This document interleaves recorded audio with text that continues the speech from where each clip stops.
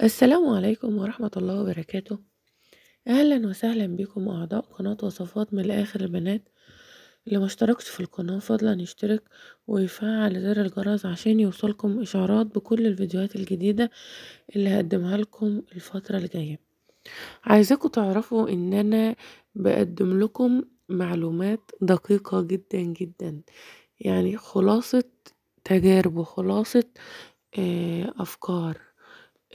فتابعوني وياريت لو عجبكم الفيديو like و share كتير عشان في ناس آه، مش مشتركة يقدر تقدر تحصل على هذا المحتوى اللي هي بتدور عليه. ال like بيفرق جدا جدا. النهاردة هكلمكم عن سر حصري. السر الوحيد السر الحصري الوحيد اللي تقدري تعرفي وتكتشفي ويأكد لك ويثبت لك مين بيفكر فيكي ومين بيحبك بالسر وهل الشخص اللي بتفكري فيه فعلا هو الشخص المقصود وهو اللي بيفكر فيكي أنا عارفة إن في ناس كتير جدا اتكلمت على علامات وأسرار كتير جدا تعرفي بيها. أسرار في علم النفس وأسرار جسدية آه تعرفي بيها مين الشخص اللي بيفكر فيكي بالسر. وعارفة ان المحتوى ده في ناس كتير جدا بتبحث عنه وعايزة تعرف الإجابة. إيه هيقتلها التفكير وعايزة تعرف إجابة السؤال ده بأي طريقة. بل أعرف ناس كمان يعني بتدفع فلوس لمدربين علشان تعمل تمارين تخاطر علشان توصل للشخص اللي بتحبه وعلشان تأكد هل الشخص ده بيحبها ولا لأ. يعني في أساليب كتير جدا جدا وفي ناس مهتمية بالسؤال ده. أنا شرحت في حلقات كتير على القناة وقلت أسرار كتير جدا جدا جدا. بس السر الوحيد اللي تقدري فعلا تكتشفي تكتشفي منه مين الشخص اللي بيفكر فيك وهل الشخص ده معجب بيك وبيحبك. إن تبقى هو في الفترة دي شاغل تفكيرك فترة معينة لقيتي نفسك تفكيرك منشغل بإنسان معين أربعة وعشرين ساعة مركزة على هذا الشخص. آه، بتنامي تفكري فيه بتقومي تفكري فيه. وفجأة مرة واحدة وفجأة مرة واحدة آه، لقيتي نفسك. الشخص ده تناستيه معدتيش بتفكري فيه لفترة معينة. وبعدين راجع هذا التفكير تاني. وهذا ال ال ال الاهتمام بيه وإن انت شاغل تفكيرك أربعة وعشرين ساعة بعد ما كنتي تعافيتي ونسيتي هذا الشخص وما عدتيش بتفكري. فجأة رد عليك التفكير تاني وبدأت تفكري نفس التفكير المرضي ده في الشخص أربعة وعشرين ساعة ومش مفارق خيالك وبيجيلك في الأحلام. بعد ما كنتي خلاص آه، فكيتي التعلق وما عدتيش بتفكري فيه اعرفي إن الشخص ده هو اللي كان بيفكر فيك وهو اللي كان شاغل تفكير وهو اللي كان بيتخاطر معاك هو ده السر الوحيد السر الوحيد الحصري اللي تقدري تعرفي منه فعلا هو الشخص ده بيفكر فيك ولا لا. لو كنت بتفكري فيه وجت فترة في النص خلاص. حسيتي إن انتي بدأتي تتعافي في فترة نقاهة ما عدتيش بتفكري زي الأول. وخلاص بدأت تعيشي يومك عادي وتمارسي نشاطاتك وما عدتيش شاغلة نفسك بيه ولا شاغلة تفكيرك بيه.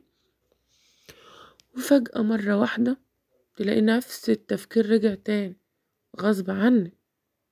يعني انت ما انتش قصد غصب عنك تلاقيه نط جوه تفكيرك تاني نط جوه هالتك تاني.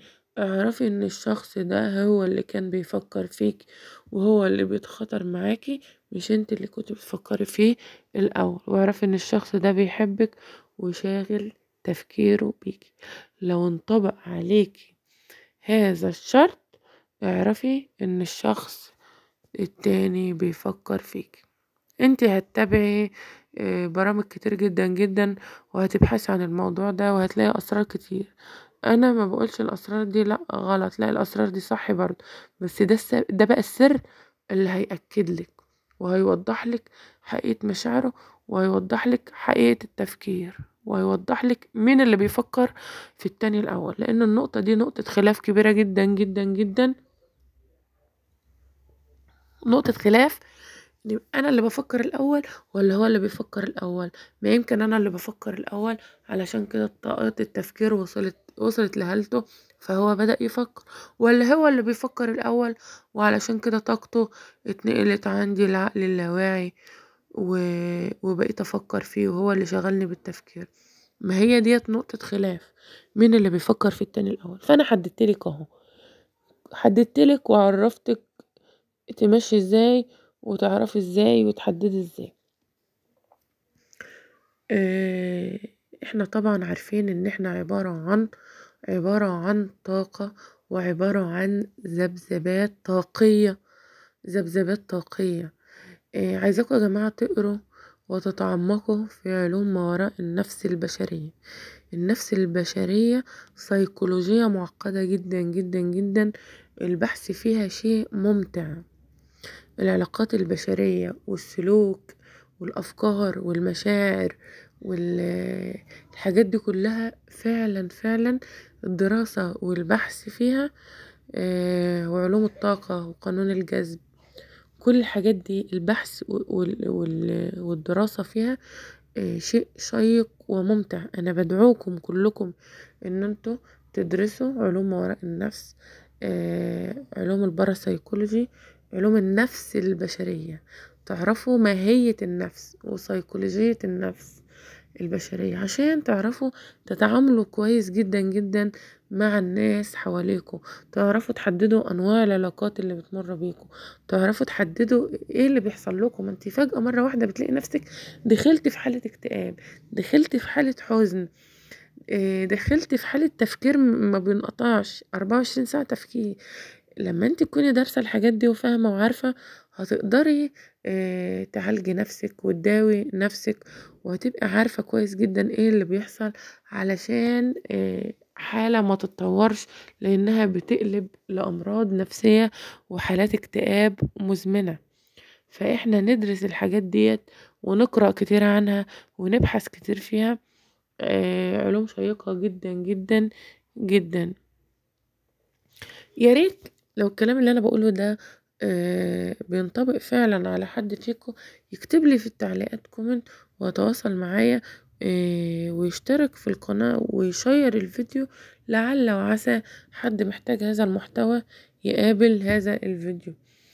آه لو حد عنده أي سؤال أي سؤال فيما يخص النفس البشرية أو الأحلام أو التفكير أو المشاعر أو العلاقات يتواصل معايا ويكتب لي هل الكلام ده بيحصل معاه ولا لأ في التعليقات. أتمنى تكون الحلقة عجبتكم. والسلام عليكم ورحمة الله وبركاته.